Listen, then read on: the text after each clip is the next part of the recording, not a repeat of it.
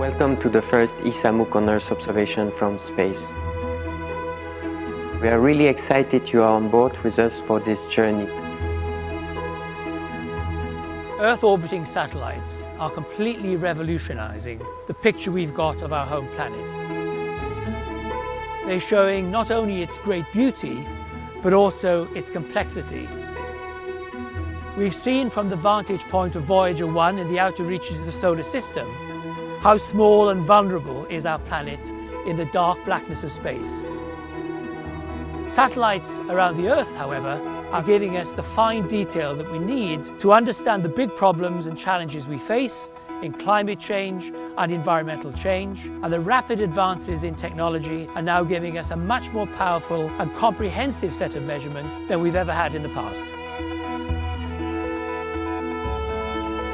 We are in the midst of a data revolution. With the launch of the Sentinel data, we'll get sustained observation for the next decades. And this observation will be really important to better understand our planet, understand processes, but also support decision making related to climate change and monitoring of the environment. The intention of this course is to excite you about Earth observation, its power and its value, it will set out the fundamental principles by which we make measurements from space. It will tell you about how those measurements are used. It will show you the kind of problems that Earth observation can be fundamental to solving. And most of all, it intends to be inspiring and informative.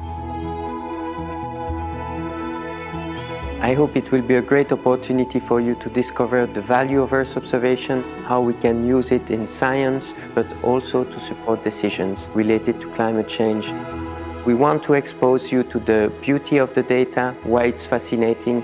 You will learn about how to use the data in context with other data, how to process them, and how to make the most of it. And we hope this course will bring you a new perspective on this technology. So looking forward to working with you in the next few months and better understand how to make the most of these data.